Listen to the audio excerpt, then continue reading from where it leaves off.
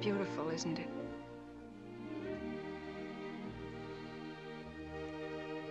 I think it's the most beautiful place I ever saw in my life.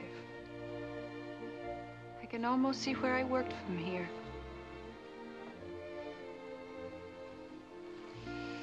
There's a legend.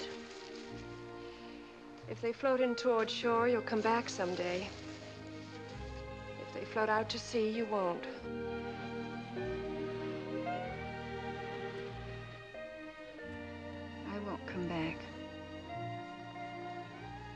See, my fiance was killed on December 7th. Oh, I'm sorry. He was a bomber pilot. He tried to taxi his plane to the edge of the apron, and the Japs made a direct hit on it. Maybe you read about it in the papers. He was awarded the Silver Star. They sent it to his mother. She wrote me she wanted me to have it. That's very fine of her.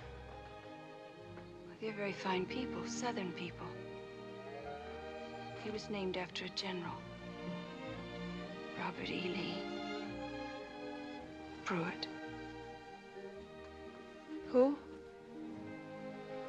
Robert E. Lee Prewitt. Isn't that a silly old name?